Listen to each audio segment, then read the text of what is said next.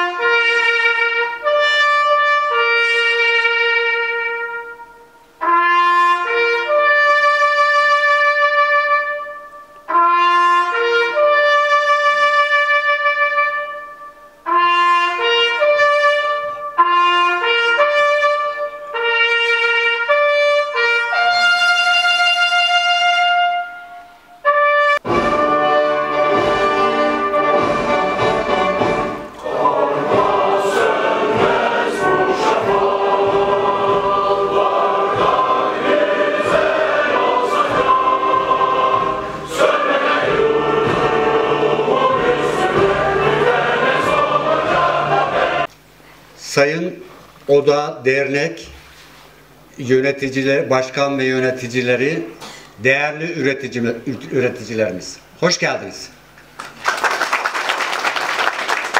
Üretim Devrimi Kurultayı çalışmalarına başladığımız andan itibaren Tamam, tamam büyük bir heyecan yaşıyoruz. Ha, tamam, Bu heyecanı iş adamlarımız ve üreticilerimizde de gördük. Ama ben kısaca iki heyecanımı sizinle paylaşmak istiyorum. Birincisi Sayın Genel Başkanım Doğu Perinçek ve Sayın merhum Cumhurbaşkanımız Rauf Denktaş'ın Avrupa kentlerinde, sokaklarında, caddelerinde hasta, halsiz, 10 metrede bir küçük tabureyle kürsüye doğru ilerlerken o tabureyi tuttuğum için Sayın Cumhurbaşkanımızın altına o tabureyi koyduğum için o dönemler çok heyecanlanmıştım. Yani hasta halinde ama e, heyecanlı ve vatanını seven vatansever duygularını e, bizlere de yansıtan Sayın Cumhurbaşkanım ve Sayın Genel Başkanım beni heyecanlandırmıştı. Neredeydi? Berlin'de 20 bin kişilik bir miting yapılmıştı.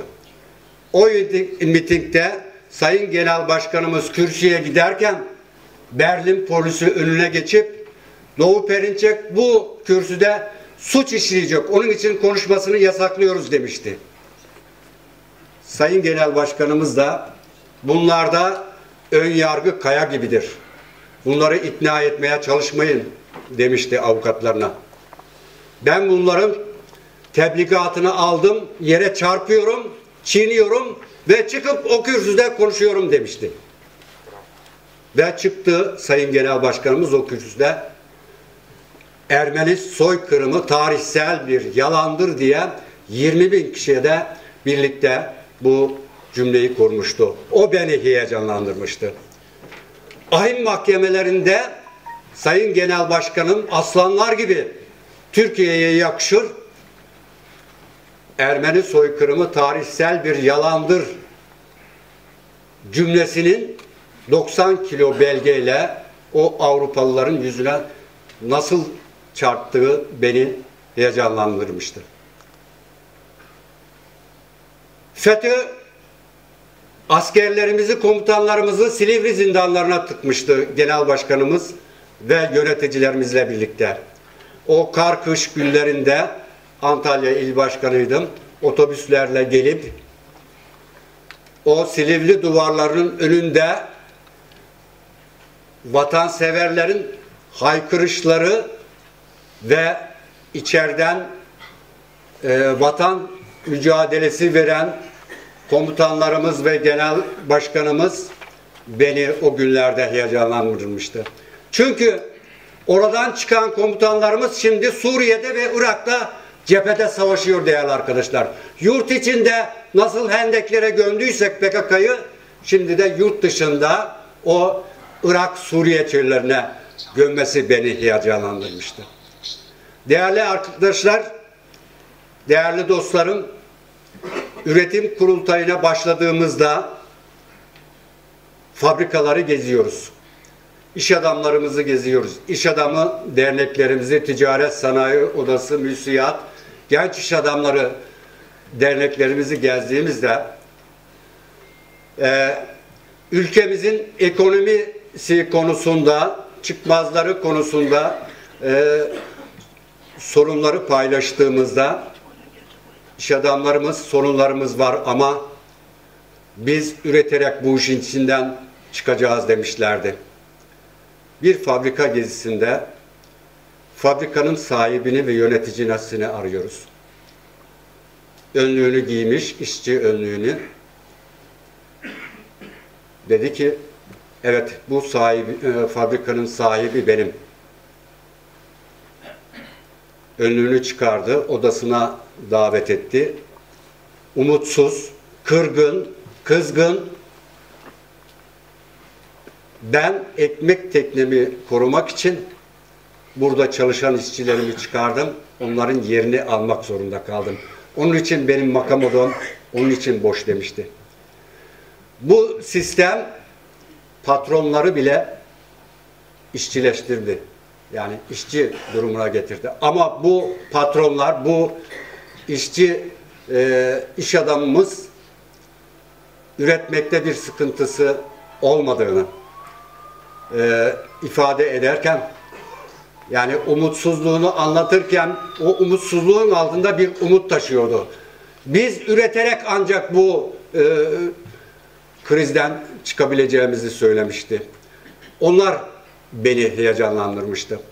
Şimdi değerli arkadaşlar Isparta'mızda hepinizin bildiği şeyleri kısaca birkaç cümleyle ifade etmek istiyorum. Gül üretimi Türkiye geneli yüzde 65'i Isparta'mızda üretilmektedir. Elma üretimi e, yüzde 25'i Isparta'mızda üretilmektedir. Kiraz üretimi sadece Uluborlu'da Türkiye'nin yüzde 15'i Uluborlu ilçemizde üretilmektedir. Su ürünlerimiz kerevit, Eğirdir Gölü'nde üretilen kerevit Türkiye genelinin yüzde 60'ıdır. Metal ve mermer konusunda e, Isparta'mızda e,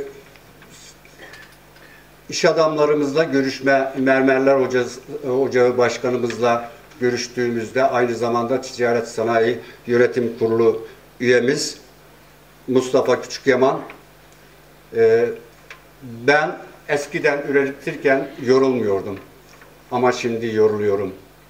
Şeker hastası oldum. Devletimin istediği her şeyi yerine getirdim ama devletim beni elektrikten suya, çalışandan vizeye, e, ekonomi olarak bizi nefes almaz duruma getirmişlerdi demişti. Şimdi değerli arkadaşlar, iş adamlarımız ve üreticilerimiz üretmek konusunda heyecanlılar.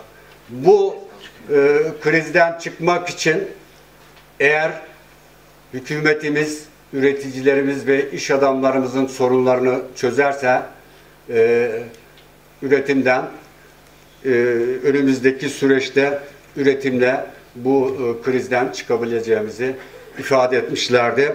Biz Isparta olarak, e, iş adamları olarak, üreticiler olarak bu krizden üreterek çıkacağımızı biliyoruz ve bu kararlılıkla çalışmaya devam edeceğiz. Teşekkür ederim.